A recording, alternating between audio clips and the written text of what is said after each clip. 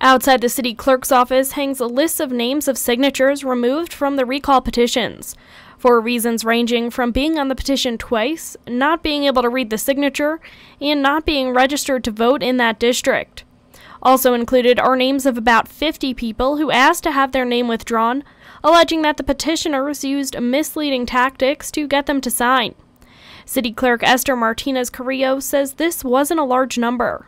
I received several calls, uh, not too many, uh, maybe a handful of them. And I did have a, a, gentleman who came in the very first time and he mentioned what he had encountered.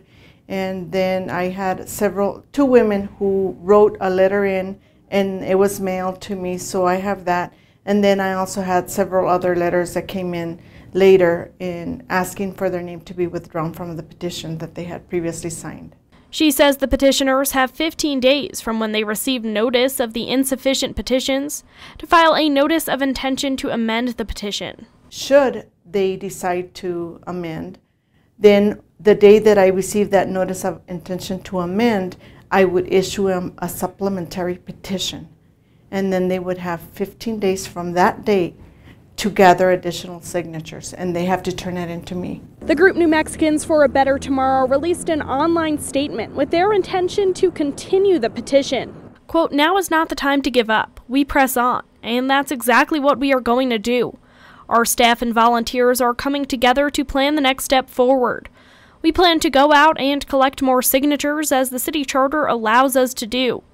To those who have been questioning whether to sign the petition or get involved, now is the time. Martinez Carrillo says she hasn't received notice of intention to amend yet, but one of the petitioners told her he planned to by phone. One of the gentlemen that I spoke to, he did um, verbally tell me that he did intend to amend his petition, uh, but I mentioned, I reminded him that I, I needed something from him in writing. So he mentioned that he would submit something to me sometime this week. Petitioners were about 300 short in Olga Pedroza's district and about 100 short in Gill Sorg's and Nathan Small's.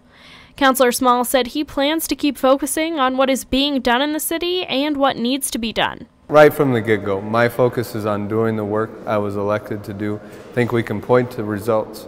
Again, creating new jobs, helping create new neighborhood organizations, making our city safer, helping our infrastructure.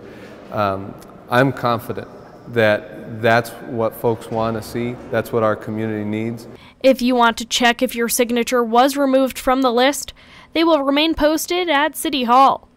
For KRWG, I'm Samantha Sonner.